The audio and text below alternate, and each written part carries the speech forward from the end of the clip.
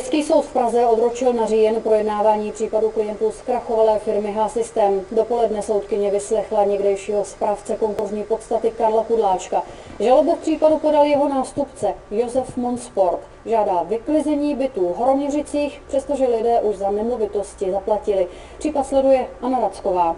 Ano, co vlastně tedy dnes Karel Kudláček řekl? Dobrý den. Karel Kudláček u soudu řekl, že eh, to nejdůležitější tedy je, že potvrdil, že dal rodinám dobrozdání, aby si svoje domy dokončili. Eh, říkal, že kvůli špatnému stavu domů to bylo to nejlepší řešení. Eh, problém ale je v tom, že tedy jeho nástupce nemá stejný názor a ten tedy chce domy prodat a peníze použít na zaplacení dluhů H systému. Skoro 60 rodinám tak, dluží, tak hrozí, že v podstatě skončí na ulici a přijdou taky o všechny investice, které do domů dali.